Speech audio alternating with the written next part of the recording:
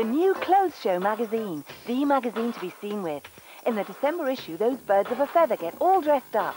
Selina gives you some of her top beauty tips, and Simon Mayo reveals what's in his wardrobe. All that glitters, some solutions for Christmas party outfits from the high street. There's a great selection of little black dresses and the good leather jacket guide. Win a haircut in Hollywood and sample a brand new perfume. Get ready to party with the December Clothes Show magazine, out now. The man your mother warned you about is preparing to take BBC Two viewers by surprise, the wickedly entertaining Harry Enfield. And our comedy in half an hour is One Foot in the Grave. And that's after the 9 o'clock news now on BBC One with Michael Buerk. Mrs Thatcher fights back. She says she'll be staying in Downing Street and claims Mr Heseltine's plans would mean huge tax increases. He's heckled by demonstrators tonight, but says you'll not shout me down.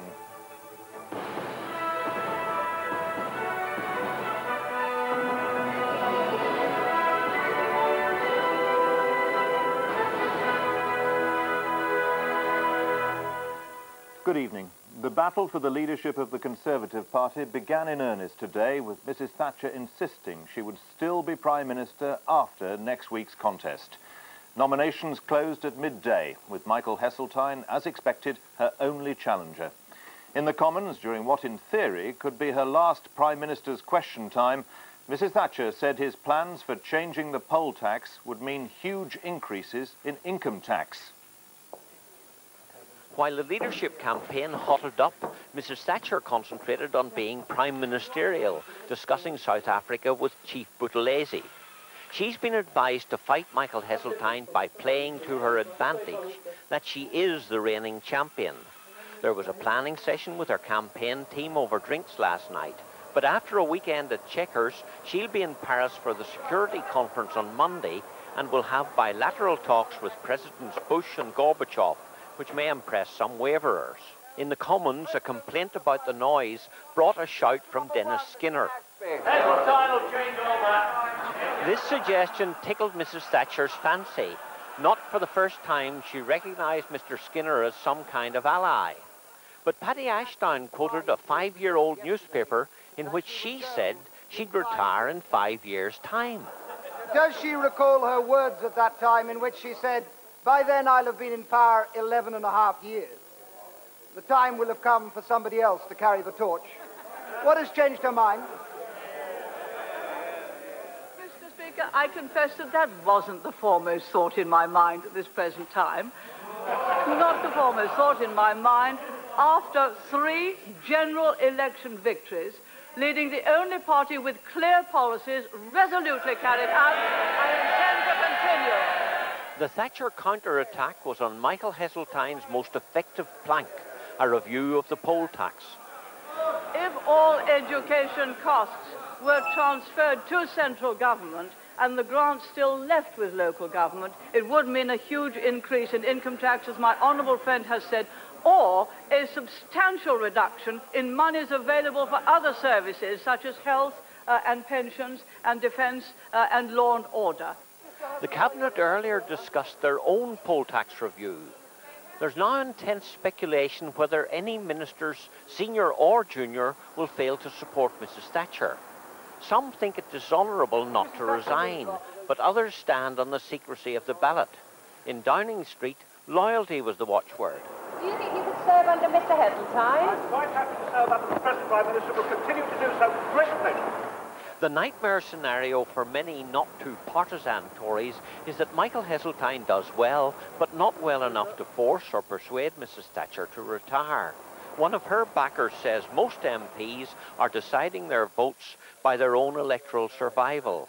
Another sceptic claims the populist right is moving to Heseltine, but others are worried by his European and industrial policies. After his nomination paper was handed in, the proposer explained why he wanted a change. I think in the past two or three years, many people have been anxious about the direction of the party. And that is why I have proposed Michael, because I believe he is the person who will bring the North and the Midlands and those metropolitan inner city areas, which are so vital to the Conservative Party at the next general election. After next Tuesday, there will be another review of the way Conservatives elect their leader. Here we've got a set of rules designed for use when the party's in opposition. I don't think the people who framed those rules ever envisaged that they'd be used in a situation like we have today. Self-evidently, they're not designed for that. They're therefore not suited to it in every respect. And I think the more we use them, the more that becomes clear. This election and its aftermath become less predictable as the hours pass. Some MPs are genuinely undecided. Others are saying different things to representatives of the two candidates. A veteran critic of the Prime Minister says she'll be gone by Easter at the latest. Her supporters claim there won't even be a second ballot. Michael Heseltine has been speaking tonight to Conservative Party workers in Paisley in Scotland, who are preparing for two by-elections later this month. It's Mr Heseltine's first public meeting since he announced his challenge to Mrs Thatcher, but he was met by demonstrators. In coming to Scotland, Mr Heseltine knew he was taking a risk. The Conservatives are deeply unpopular here, and as a party they're if anything more divided than at Westminster. So the first and possibly the only public meeting of his campaign was bound to be a difficult one. His reception included some welcome cheers from his supporters, and most of the boos were from political opponents outside the Conservative Party. And when they tried to disrupt his speech, his reaction was vintage Heseltine. You will not shout me down. You will not silence me. You will never solve Scotland's problems. If your only contribution to the debate is a loud mouth and an empty mind. There were many disruptions in a speech littered with attacks on Labour. He accused them of a narrow appetite for power, but there was no mention of Mrs Thatcher or his leadership campaign. He spoke, though, of the unavoidable choices in politics. Whether to act in time decisively and with courage, or to drift in the hope that time or other people will sort out the continuing decay, whether one should confront challenges or run away from them. If anything, the disruptions worked to Mr Heseltine's advantage. They let him show his talents against a hostile opposition. And according to his supporters, Scotland demonstrates clearly his reasons for standing. The party's unpopularity here is put down to two things, to the poll tax and Mrs Thatcher. Last month saw the biggest increase in unemployment for more than four years. The seasonally adjusted figure was up more than 32,000, with nearly 1,703,000 people out of work and claiming benefit. Tonight, the Bank of England warned that Britain's economic slowdown will be deeper and longer than expected. For the 260 staff at this brickworks, there's no doubting the recession. The works have closed and their jobs have gone. Today they show up in the unemployment figures, part of the sharpest rise in the jobless total for four and a half years. The building industry is badly affected by high interest rates. Those high interest rates have hit consumer demand generally, especially in the south where mortgages are biggest and the squeeze on incomes most severe. As a result, it's the southern regions which are now showing the biggest job losses. Unemployment's still falling in Scotland and Northern Ireland, but nationally there's no doubt the trend is getting worse. Since April, the number of people out of work has risen by nearly 100,000, and vacancies have been falling. There are now fewer jobs on offer at job centres than at any time in the past seven years. The government today repeated its warnings on pay. Recent deals have been edging well into double figures, especially in the car industry. The Employment Secretary said unemployment was likely to carry on rising. Pay restraint was vital to protect jobs. When people sit round a table and talk about pay, they should bear in mind the long-term consequences of their actions uh, and not act in such a way as to make their employer less competitive and put jobs at risk. Of course, wages are a factor in the economy, but the reason why jobs are being lost at the moment is because of the recession that is here and now and deepening, the very, very high interest rates, which are the result of mistakes of government economic policy over the past few years. Evidence from industry and from the high streets is that the recession is becoming more serious. This recession, however, is different from the last one. It's in the Tory heartland in the south of England that its impact is being felt most of all. And there was little comfort from the Bank of England's bulletin tonight. The bank's worried about the Gulf crisis and its impact on world trade. All in all, it says Britain's slowdown will be steeper and more prolonged than previously thought. Iraq's information minister has been talking about the Conservative leadership contest. Anyone, he said, is better than Mrs. Thatcher. She's a bad woman. Mrs. Thatcher's problems and the fading popularity of President Bush in the United States are encouraging the Iraqis. Our Foreign Affairs editor John Simpson, who's just returned from Iraq, says Saddam Hussein is convinced that the West won't go to war. Baghdad doesn't feel like a city facing the threat of war. Sanctions are having only a very limited effect, even though a new round of rationing has just been introduced and high prices are starting to cause serious hardship. But President Saddam Hussein's control is so tight on everything that no one is tempted to come out and challenge his authority or his government. The atmosphere in Baghdad is relaxed. There's little or no hostility to Westerners.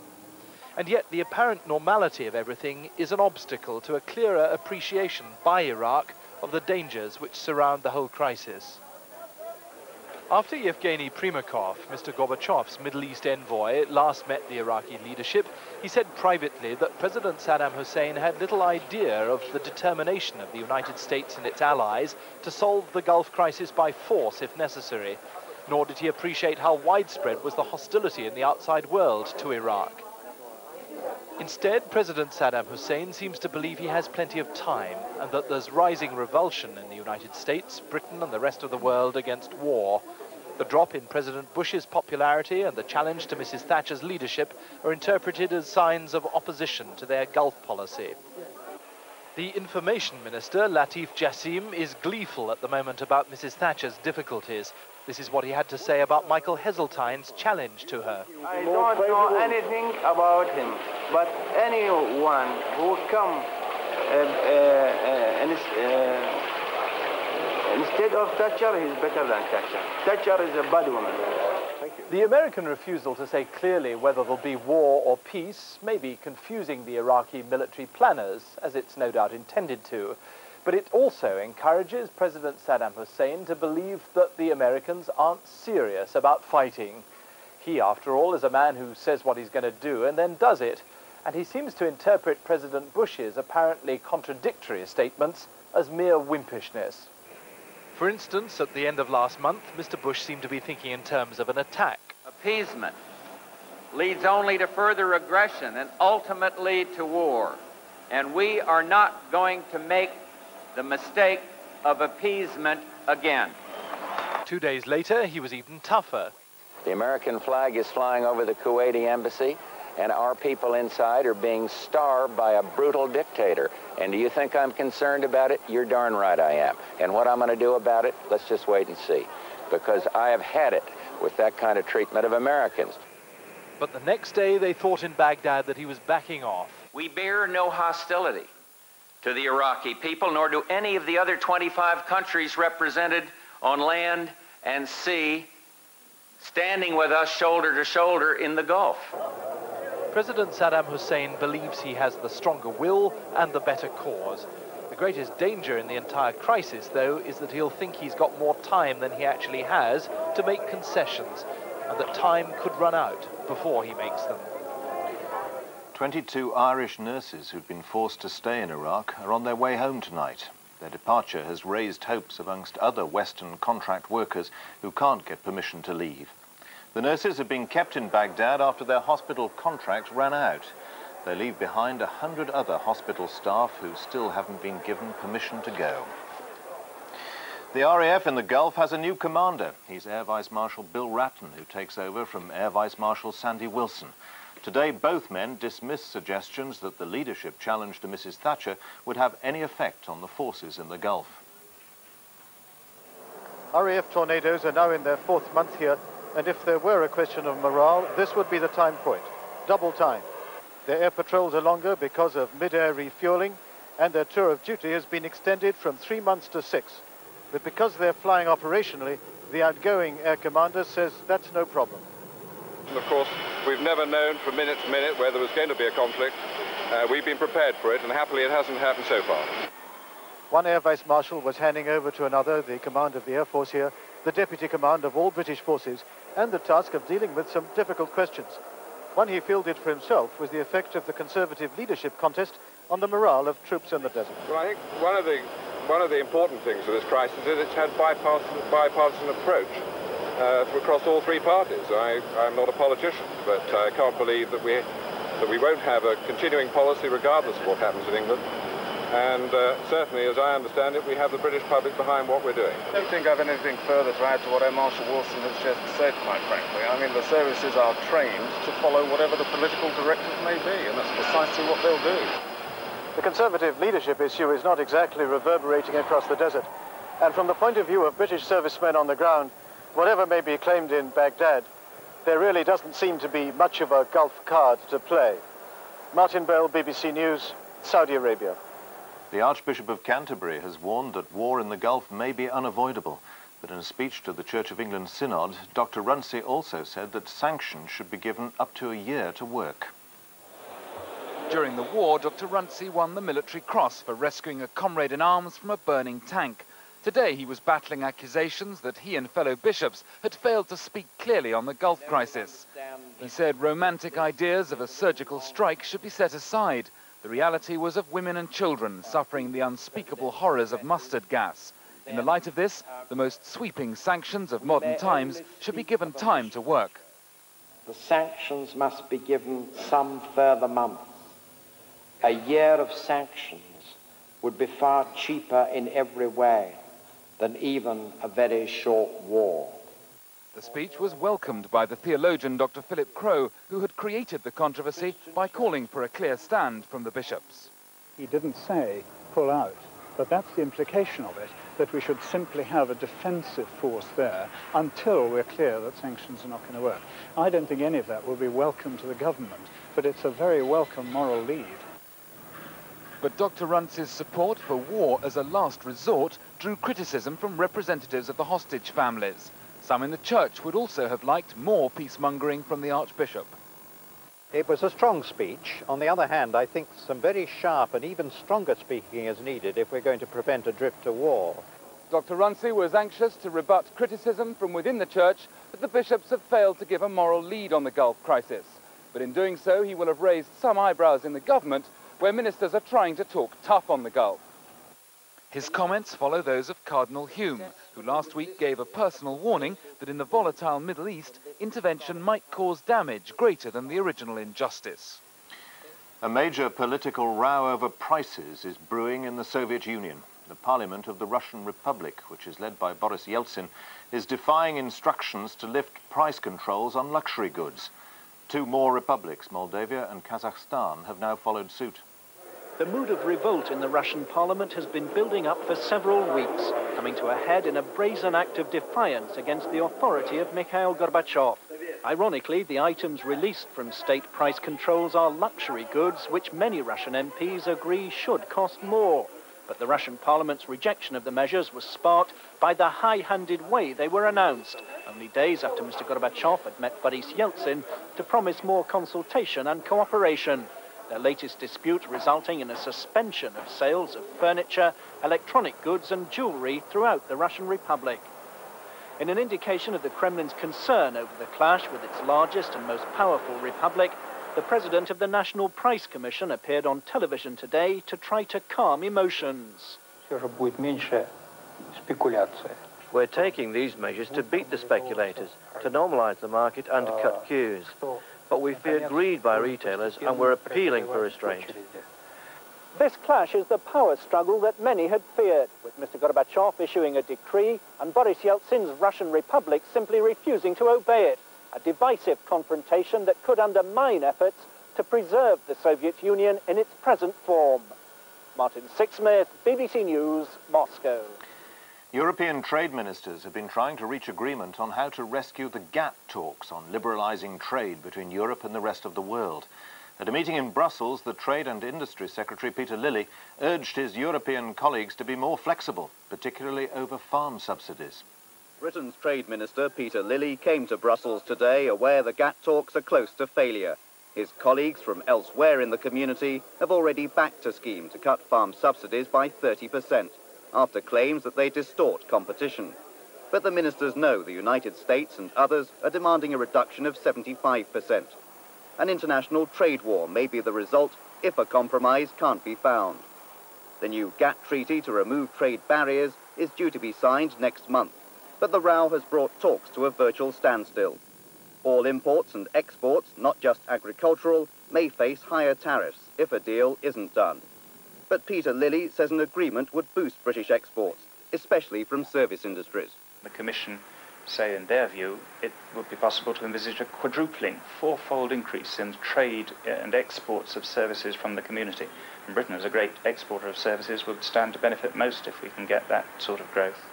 The American Secretary of State, James Baker, will also visit Brussels tomorrow, part of a concerted diplomatic effort to save the talks, trying to narrow the differences with the community.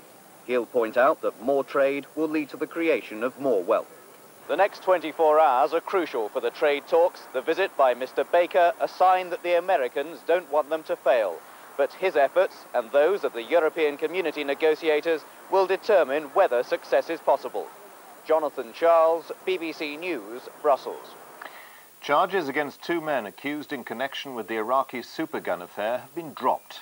Peter Mitchell, the former managing director of a West Midlands engineering firm, and Dr. Christopher Cowley, a metallurgist from Bristol, had been accused of breaking export regulations. Customs and excise officials say they don't anticipate charging anybody else. When customs men discovered the so-called Iraqi supergun on the docks at Teesside, the manufacturers claim the consignment was nothing more than steel piping bound for an Iraqi oil refinery. They produced this company video to prove the point, although the customs and excise say they're still convinced this is the barrel of a huge gun capable of lobbing shells as far as Israel. Since the Iran-Iraq war, military equipment sold to Iraq requires a special export license. Sheffield Forge Masters engineered the alleged supergun, and another engineering firm in the West Midlands arranged the contract. Both said export licenses had been granted after the documentation had been checked for civilian use. And there's now criticism that the customs men may have been overzealous.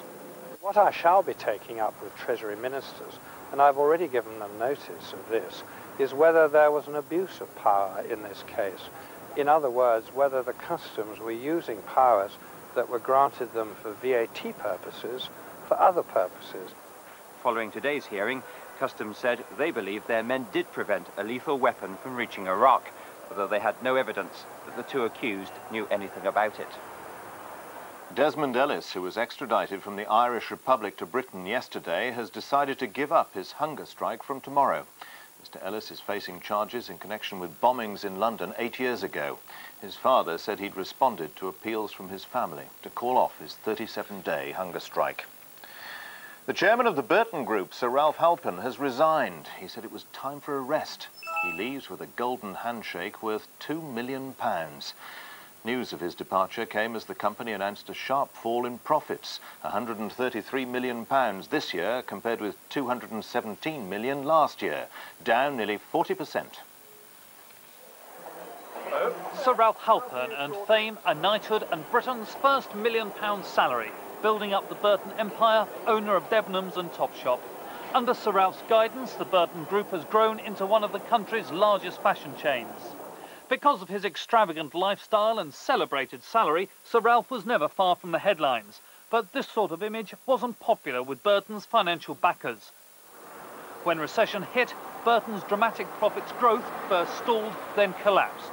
Today, the company announced a 40% fall in profits, and Sir Ralph's opponents got what they wanted as the company's chairman and chief executive stepped down.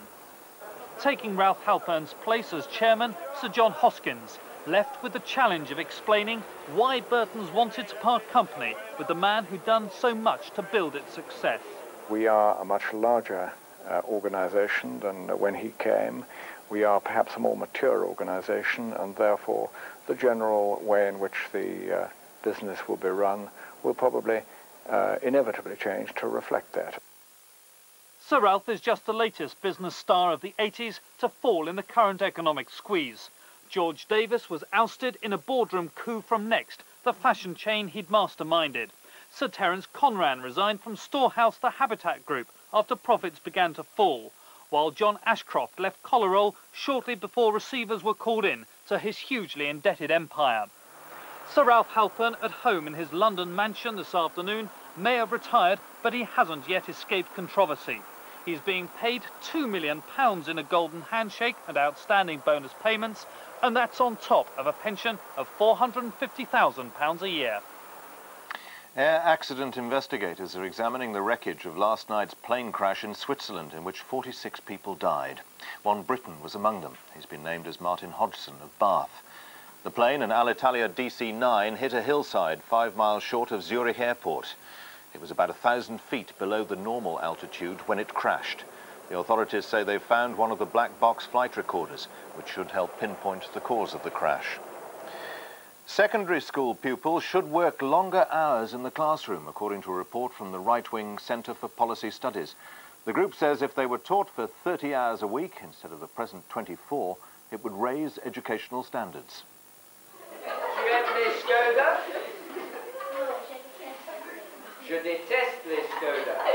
The school day at Ealing Green High is 8.45 to 3.15, giving pupils just over 23 hours of classes a week.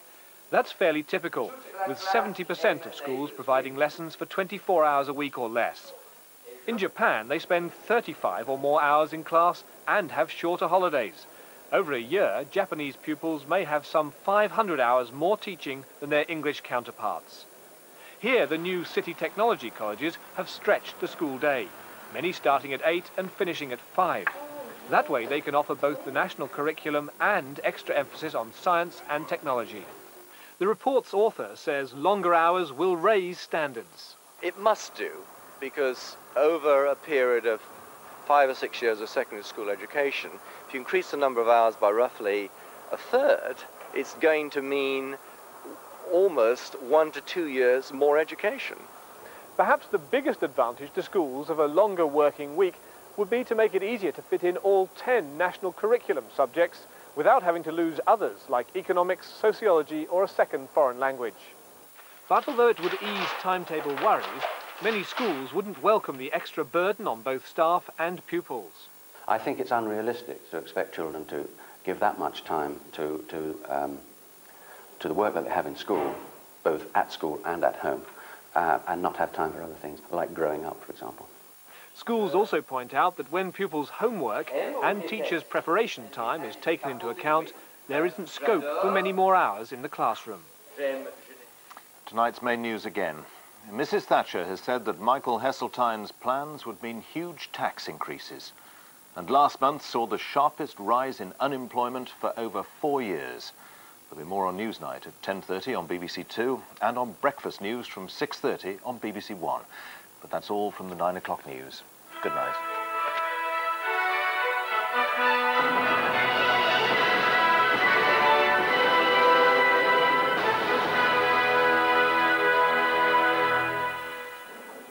Michael Heseltine's challenge to the Prime Minister is the talk of our Question Time audience tonight here at Cambridge University. In just over an hour's time, they'll be questioning the Conservative Party Chairman Kenneth Baker and Labour's leading spokesman Gordon Brown, plus the ever-controversial Mary Whitehouse and the Bishop of Durham. Join us live from Cambridge, 10.50, BBC One.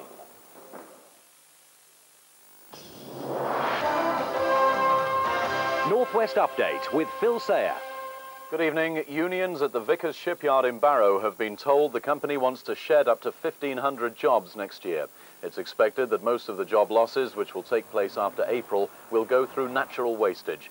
The exact details of the redundancy programme aren't expected until the new year. By then, the government is expected to have specified its submarine requirements for the next decade. Thirteen people will appear before Preston magistrates tomorrow charged with conspiracy to defraud the post office. Seventeen people were arrested yesterday in a series of raids across the north of England and Scotland in connection with alleged state benefit frauds. Four of those arrested were released on bail without charge. Detectives in Liverpool are questioning a man following the discovery of the badly burnt body of 26-year-old Julie Ann Christian in an alleyway in Toxteth. The victim's keys, purse and one shoe are still missing. Police are appealing for witnesses. At Manchester Crown Court, 26-year-old Stephen Julian from Cheetham Hill has admitted attempting to murder a security guard during an armed robbery at the coin control factory at Royton in Oldham. 22-year-old Chinado Higuara, also of Cheetham Hill, pleaded guilty to wounding during the same attack. Both men will be sentenced tomorrow. Rochdale Council is drawing up an emergency action plan to implement child protection recommendations made by the Department of Health. The Director of Social Services, Gordon Littlemore, will present the plan to a special meeting of the Social Services Committee. Lancashire County Council has rejected plans to site a quarry in 240 acres of the Ribble Valley. The proposed site for the sand and gravel quarry was on agricultural land close to the M6 near Samlesbury in Preston. Finally, football. Peter Reid is the new manager of Manchester City. He replaces Howard Kendall, who's rejoined Everton. And that's it from us for now. There'll be more news on BBC One at 6.55 in the morning, and that's followed by regular updates throughout the day. Hello. A dull old, windy old day tomorrow. Cloud is building up in the west, and an active little wriggle will rush eastwards across the British Isles during tomorrow, packing those lines in a much windier day tomorrow than it has been today in most areas. Those fronts then sinking slowly southwards across the country during the course of the weekend. But back to tonight, a little bit of drizzle in the west at the moment, many places dry. As we go through the night, rain quickly spreading eastwards across Northern Ireland, much of Scotland and into northwestern parts of England. Drizzle further south, especially in the west, and becoming, becoming very misty in many places by the end of the night with lots of fog on the high ground. But it does mean a fairly mild night everywhere. A dull day tomorrow, lots of mist and fog, especially on the high ground in the west and some patches round the coast as well. Some quite heavy rain over Scotland, Northern Ireland and northwestern parts of England and some drizzle further south as well. As we go through the morning, winds picking up over the country, that's going to have the effect of lifting the low cloud in central and eastern parts of England and Wales off, but it will stay fairly overcast even there. As we go through the afternoon, much brighter weather sweeping southwards across Scotland, brighter, cooler weather into Northern Ireland and into northern parts of England by the end of the afternoon. Farther south, staying dull, mild and drizzly, the drizzle especially in the west. A very windy day with those are the average wind speeds at midday tomorrow. Those winds even picking up on that during the course of the afternoon. Gale developing in many exposed western districts, perhaps even severe gales off northern parts of Ireland and southwestern parts of Scotland. But for most of us, another very mild day in the south, 15 Celsius, 59 degrees Fahrenheit, progressively colder as you get northwards. 13 in Belfast, 12 in Glasgow, just 8 in the Northern Isles, 16 Celsius. Mild and drizzly in the south again, we think, on Saturday, bright in the north with some showers, that brighter weather, colder weather spreading southwards across the whole country on Sunday. And yes, the showers turn to snow over the northern hills. 40 Minutes on BBC Two now is in the Quantock Hills in Somerset, where a battle is raging between established villagers who for generations have hunted deer and the newcomers who object to what they see as immoral and out of date. Friday night on 1 and Wogan's in Hollywood with Valerie Harper and voice of Roger Rabbit, Charles Fleischer. Then at 7.30, Del Boy fondly remembers his mother. Our mum was a wonderful woman. She had long golden blonde hair, sometimes.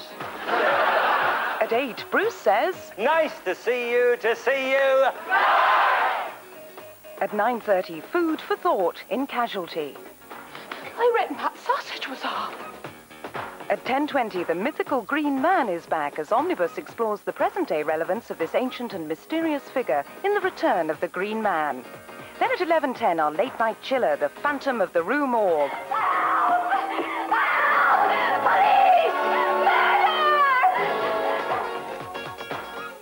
A blood-curdling end to Friday night on BBC One.